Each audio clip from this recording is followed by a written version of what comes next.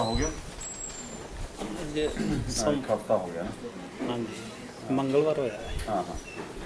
ਤੇ ਕਿਵੇਂ ਰਿਹਾ? ਕੁਛ ਕੀ ਲੈਂਦੇ ਰਹੇ ਹੋ ਤੁਸੀਂ? ਦਾਲ ਵਗੈਰਾ ਖਾਂਦੇ ਸੀ? ਹਲਕੀ ਫਲਕੀ ਕਿਤੇ ਖਾਧੀ ਹੋਏਗੀ ਨਹੀਂ ਤਾਂ ਦਹੀਂ ਦਹੀਂ ਤੇ ਲੱਸੀ ਖਾਂਦੇ ਹੀ? ਪੀਤੀ ਦਹੀਂ- ਦਹੀਂ ਮਾਦਾ ਦਹੀਂ ਲੱਸੀ ਪੀਤੀ ਹੈ ਜੀ। ਦਹੀਂ ਕਿੰਨਾ ਕੁ ਮਤਲਬ ਛੋਟੀ ਕੌਲੀ ਇੱਕ ਖਾਧੀ ਜਾਂਦੀ ਹੈ ਆਰਾਮ ਨਾਲ? ਬਸ ਖਾਈ ਜਾਈਦੀ ਨਹੀਂ। ਭਰ ਜਾਂਦਾ ਪੇਟ? ਹਾਂਜੀ। ਅੱਛਾ ਭਾਰ ਕਿੰਨਾ ਘਟਿਆ? 6 ਦਿਨਾਂ 'ਚ 6 ਕਿਲੋ ਹਾਂ। ਬਸ ਠੀਕ ਆ ਹੁਣ ਅੱਜ ਇਹਨਾਂ ਦੇ ਵਿਟਾਮਿਨ ਵਗੈਰਾ ਸ਼ੁਰੂ ਕਰਨ ਲੱਗੇ ਆ। ਬਾਕੀ ਹੌਲੀ ਹੌਲੀ ਜਿਹੜੀ ਡਾਈਟ ਆ ਉਹ ਵਧਾਉਂਦੇ ਚਲੇ ਜਾਓ ਤੁਸੀਂ। ਆਪਣਾ ਫੁਲਕਾ ਵੀ ਚੂਰ ਕੇ ਖਾਣਾ ਸ਼ੁਰੂ ਕਰ ਦਿਓ। ਅੱਛਾ। ਦੋ ਚਾਰ ਹਜੇ ਚਮਚ ਹੀ ਖਾ ਬਣੇ ਆ। ਚਲੋ। ਸਲੋ ਚਬਾ ਕੇ ਆਰਾਮ ਨਾਲ। ਜ਼ਿਆਦਾ ਤਾਂ ਜਿਹੜਾ ਤਾਕਤ ਵਾਸਤੇ ਆਹੀ ਆ ਲੱਸੀ ਦਾਲ ਦਾ ਪਾਣੀ ਸੂਪ।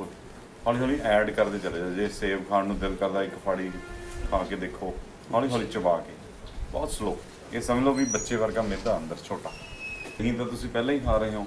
ਅਦਰਵਾਈਜ਼ ਪੁਰਾਣੀ ਜਿਹੜੀਆਂ ਟੈਕਨੀਕਸ ਹੁੰਦੀਆਂ ਸੀ ਤਾਂ ਪੁਣ ਕੇ ਪੀਣਾ ਪੈਂਦਾ ਹੁੰਦਾ ਸੀ। ਡੇਢ ਡੇਢ ਮਹੀਨਾ ਪੁਣ ਕੇ ਪੀਂਦੇ ਸੀ।